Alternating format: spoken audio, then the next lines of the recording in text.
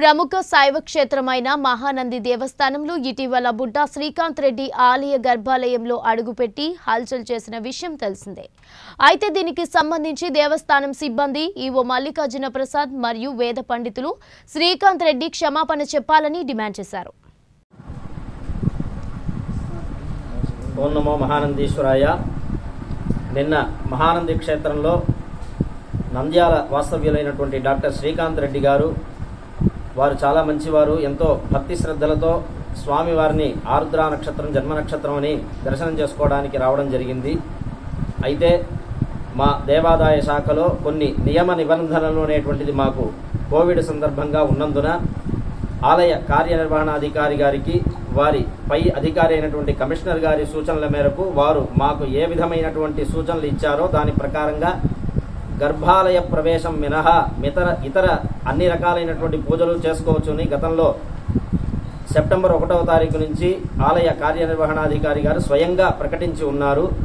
అటువంటి సందర్భంలో గర్భాలయ ప్రవేశం అనేటువంటిది ఎంత ప్రముఖులు వచ్చినప్పటికీ నిన్ను ఈ మధ్యన ఎమ్మెల్యే గారు కానీ లేకపోతే జడ్జి గారు కానీ ఇతర ప్రముఖులు ఎవరు వచ్చినప్పటికీ నిన్ను వారు ఆ నియమాన్ని అనుసరించి ఆలయంలో బయట నుంచే వారు నంది మండపం దగ్గర నుంచే స్వామివారి దర్శనం చేసుకొని వెళ్ళడం అనేటువంటిది జరుగుతుంది.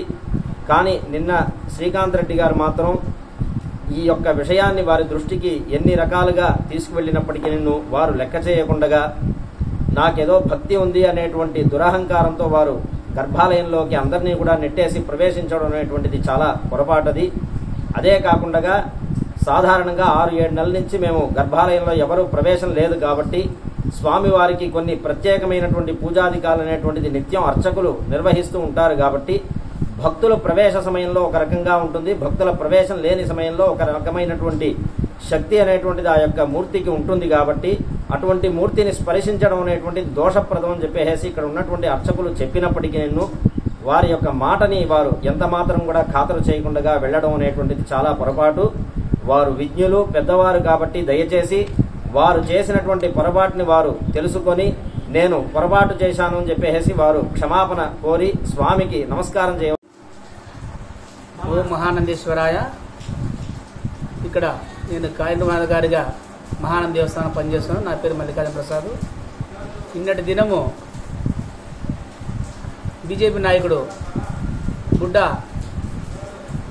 శ్రీకాంత్ రెడ్డి గారు దేవాలయం దేవాలయంకి వచ్చి తను మామూలుగా భక్తుడిగా వస్తున్నాడు అనుకొని మా యొక్క టెంపుల్ ఇన్స్పెక్టర్ గారు మరియు మా అర్చకులు కూడా వారు స్వాగతం పలికారు.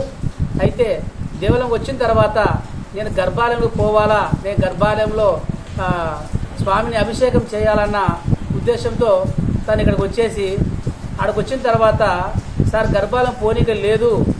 గర్భాలయంలో ఇప్పుడు ఈ దేశవ్యాప్తంగా కోవిడ్ ఉండడం వలన గర్భాలయం ప్రవేశం లేదని మా కమిషనర్ గారు మాకు ఆదేశాలు ఇచ్చారు అని వాళ్ళు తెలియపరిచినప్పుడు కూడా వారు బీజేపీ నాయకుడు మరి ఆ విధంగా తను ప్రవర్తించి నేను ఖచ్చితంగా గర్భాలయం పోయి తీరాలా? నన్ను ఎవడు ఆపుతాడో? నేను చూస్తాను అని తను వీరాంగం చేసి తన షర్టు విప్పేసి మా మా యొక్క టెంపుల్ ఇన్స్పెక్టర్ని మా అర్చకుల్ని అర్చకును కూడా దుర్ దుర్భాషలాడాడు అర్చకులు కూడా వారు కూడా మీరు శుద్ధిగా లేరు మీరు సరిగా లేరు అని మాటలు మాట్లాడుతూ నేను ఖచ్చితంగా నేను లోపల పోయి అభిషేకం చేసుకోవాలని చెప్పి తానే బలవంతంగా పోయినాడు.